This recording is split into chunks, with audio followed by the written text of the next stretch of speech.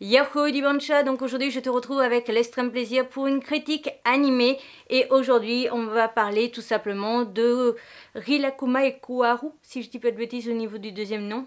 Donc euh, l'animé de Rilakuma est un animé disponible sur le site de Netflix, âge conseillé je crois aux 6-7 je te mets la correction ici, je te mets toutes les autres informations, le nombre d'épisodes, etc., etc. à côté de moi.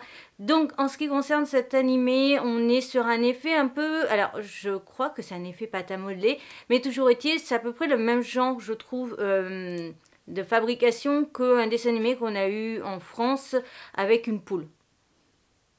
C'était vachement.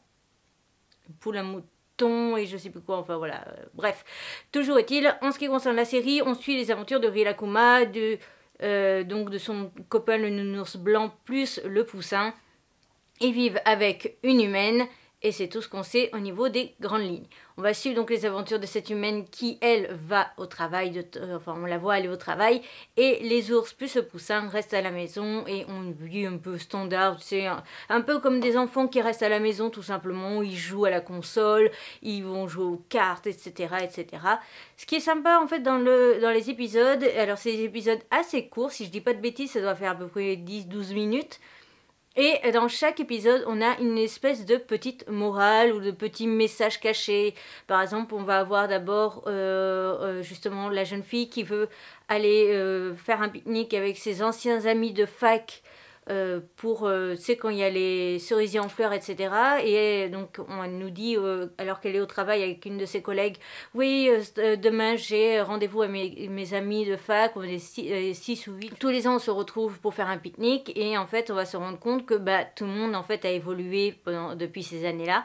Et donc, il y en a qui peuvent plus parce qu'elles sont en couple, d'autres qui peuvent plus parce qu'elles ont oublié, d'autres parce que c'est leur travail qui les en empêche, etc. etc.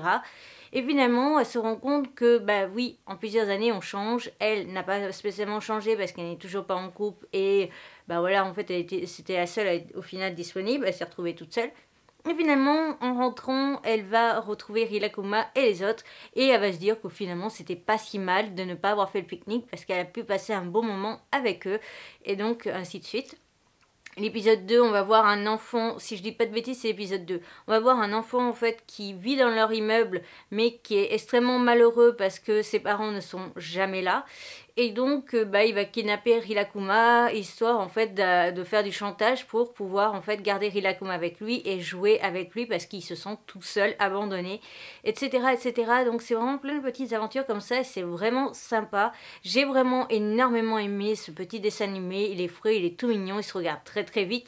Forcément, vu que c'est des épisodes de 12 minutes et qu'il n'y en a pas beaucoup. Mais personnellement, j'ai vraiment apprécié ce petit moment que j'ai passé avec ces personnages. Et euh, je ne sais pas si tu avais vu, mais il y a donc un, manga maintenant qui est disponible en France sur la série Lakuma. Je l'ai donc présenté, je t'ai fait une critique du tome 1. Et dans cette vidéo, en fait, je t'expliquais justement que je suis un gros fan de Rilakuma. Et donc, bah, justement, j'étais très contente de oui, et m'être fait dans le même mois, du coup, la lecture du manga et avoir fait l'animé. Il me semble qu'il y a un autre animé et il faudrait que je cherche où le, trouver. Parce me semble qu'il en existe une autre version, euh, peut-être plus dessin animé, dessin animé et pas des aspects un peu pâte à modeler. Mais sinon, j'ai vraiment aimé, j'ai trouvé ça plutôt sympa et très agréable. Et il sera parfait du coup pour le public enfant, donc le public qui est visé. Et puis je trouve ça bien parce qu'en fait, les petites morales sont vraiment accessibles aux plus jeunes. Je trouve que je pense que très clairement, si on a l'âge visé, on peut comprendre les petits messages qu'il y a à l'intérieur. Et j'ai trouvé ça très sympa et donc c'était quelque chose que j'ai su apprécier. Cette vidéo est donc à présent terminée, j'espère de tout mon cœur qu'elle t'aura plu. N'hésite pas à me dire si tu aimes Rilakuma. Je te retrouve donc bientôt pour une nouvelle aventure. Ma de panda pour t'abonner, mes réseaux sociaux, le compte Vinted, ici mes deux précédentes vidéos. Et je te retrouve donc bientôt pour une nouvelle aventure. Et donc on se retrouve bientôt pour une nouvelle aventure. Bye bye